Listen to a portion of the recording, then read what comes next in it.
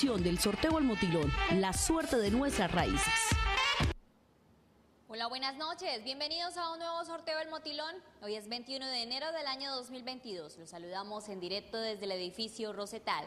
La Lotería de Cúcuta y Apuestas Cúcuta 75 presentan el sorteo del motilón número 9942. Para confirmar la legalidad y efectividad del sorteo, hoy nos acompañan los, los delegados de la Lotería de Cúcuta, Control Interno de la Gobernación de Norte de Santander y Apuestas Cúcuta 75, JJ Pita y compañía. Señores delegados, ¿autorizan el sorteo? Muy bien, mucha suerte a todos los apostadores. Vamos a proceder a jugar las balotas. Mientras tanto, les contamos que previamente se realizaron 10 presorteos. Asimismo, las balotas fueron pesadas y verificadas.